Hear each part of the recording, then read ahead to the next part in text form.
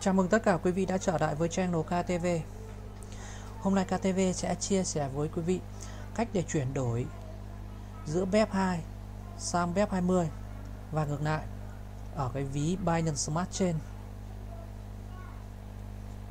Quý vị có thể đồng bộ Private Key từ ví Chert Wallet hoặc ví MetaMask vào ví Binance Smart Chain này. Binance Smart Chain chạy trên nền tảng BEP20 là phiên bản nâng cấp của BEP2 quý vị có thể add Binance Smart Chain vào trình duyệt web của quý vị. Đây là cái biểu tượng Binance Smart Chain này, quý vị hãy bấm vào.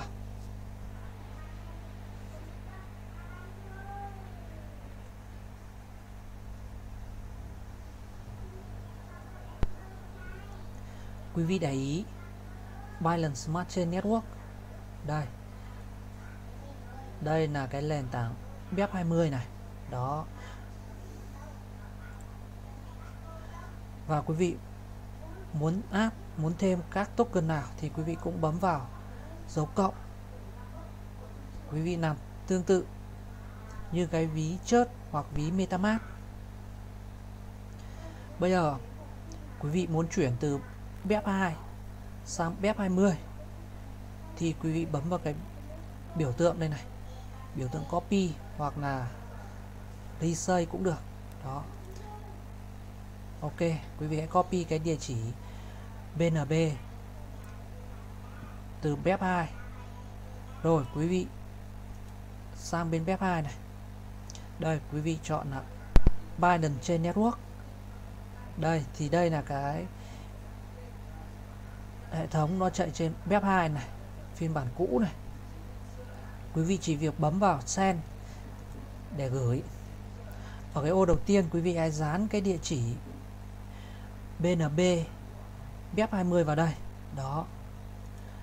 Ở ô memo quý vị để nguyên.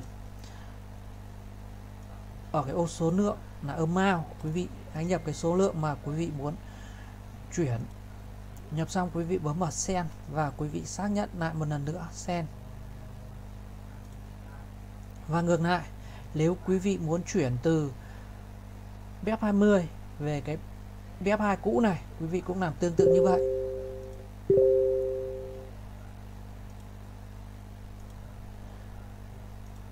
Rồi tiếp theo, nếu quý vị muốn chuyển cái token TVKT này này, đó, quý vị cũng bấm vào quý vị hãy lấy cái địa chỉ